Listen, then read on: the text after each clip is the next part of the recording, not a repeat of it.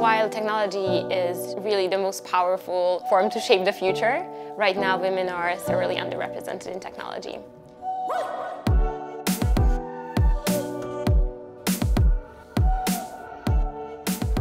My name is Dora Palfi and I'm one of the founders of Imagilabs. Imagilabs makes coding fun and relevant for teenage girls so they can develop the skills and the confidence to shape the future with technology.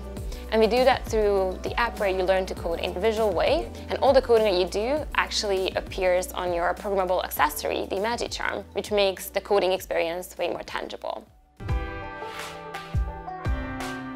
Uh, nice.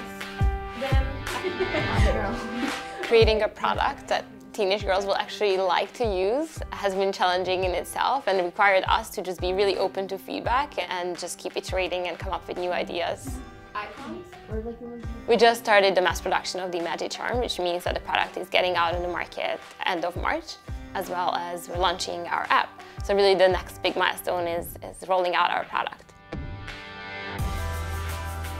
I'm excited to be one of the finalists of the Cartier Women's Initiative. I'm hoping to gain more knowledge of how to make our company more sustainable and scalable.